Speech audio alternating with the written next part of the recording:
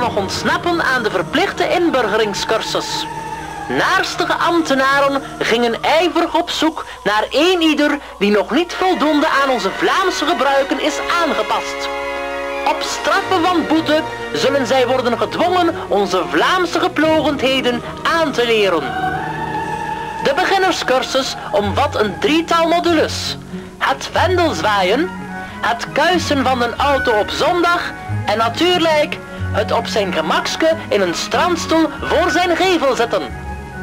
Gevorderden kunnen zich nadien inschrijven voor de cursus Vinken zetten, Wit. Waarna zij zullen onderwezen worden, Wit, in de aloude Vlaamse gewoonte van het voeteren op den vreemdeling. Het zijn allemaal profiteurs. Nogmaals, Het zijn allemaal profiteurs. goed zo.